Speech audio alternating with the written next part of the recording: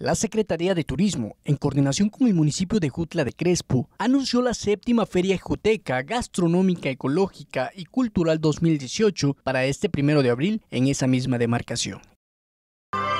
Eh, bueno, también hacer hincapié en que la feria es eh, cultural porque también por otro lado tenemos exposiciones, tenemos la parte musical y claro, dentro de todo lo que se expende de los productos que tenemos en eh, la propia feria, los artesanos, eh, la verdad que bueno, tienen un trabajo impecable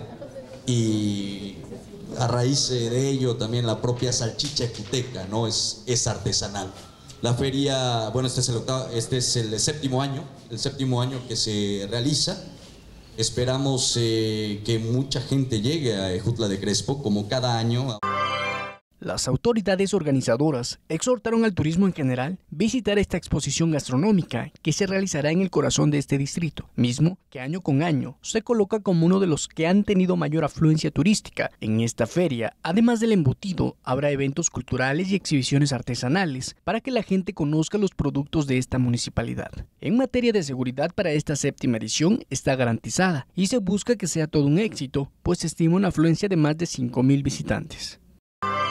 y como autoridades municipales apoyando y respaldando este gran proyecto. Felicitar a Tomás, que fue el que empezó, a Cintia, que creyeron y que en su momento la feria empezó de muy bajo,